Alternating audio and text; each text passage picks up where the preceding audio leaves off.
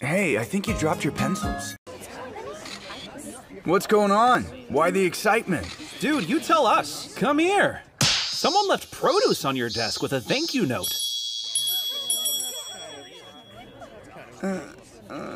Did you help a vegan cross the street yesterday or something? Huh? No.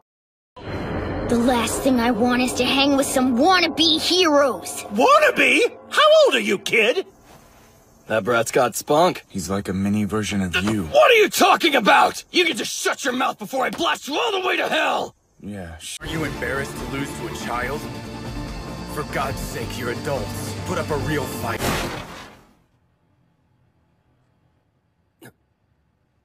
Hey, what the hell are you doing in here? This is my space to... Uh, crap, this is waiting room number two?